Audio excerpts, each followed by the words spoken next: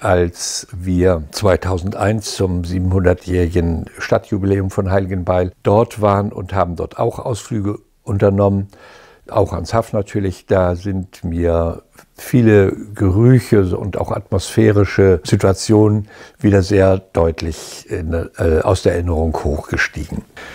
Und ähm, in Heiligenbeil haben wir dann natürlich auch unser ehemaliges Grundstück und Haus besichtigt. Meine jüngere, jüngste Schwester, die eben jetzt auch wieder mit war, die schon mal ein paar Jahre früher dort gewesen und wusste auch, dass das Haus, dass die Grundmauern des Hauses noch da sind. Und als wir dann da so rumgingen, rumstanden, kam ein LKW, so ein etwas rumpeliger LKW da angefahren. Ein junger Mann stieg aus, kam auf uns zu und wir dachten, was will der dann?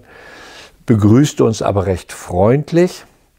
Wir haben vermitteln können, dass das mal unser Grundstück war, was er wahrscheinlich auch ahnte, denn warum sollen da drei Leute so etwas wehmütig, traurig äh, auf so einer Ruine rumstehen?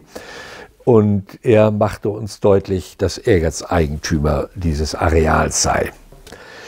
Mit Händen und Füßen hatte er uns gefragt, ob wir auch in dem Hotel wohnen. Haben wir ja gesagt. Und dann hat er uns vermittelt, dass er am Abend wiederkommen würde mit jemand, der Deutsch kann.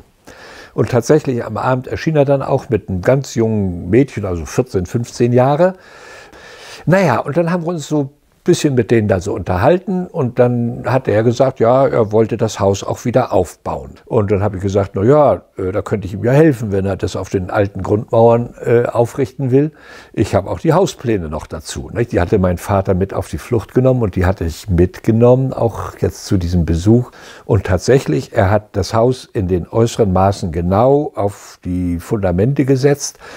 Äh, das Haus ist wirklich fast identisch, doch unserem sehr, sehr deutlich nachempfunden.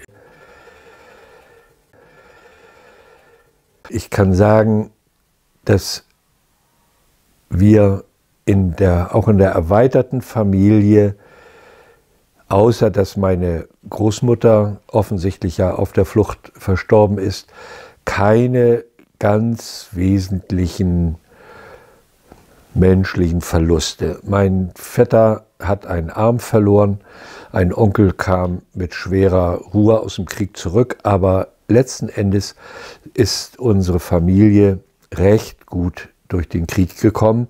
Also das heißt, was die körperliche Unversehrtheit anbetrifft. Inwieweit seelische Verletzungen da sind, das kann man natürlich nur schwer einschätzen.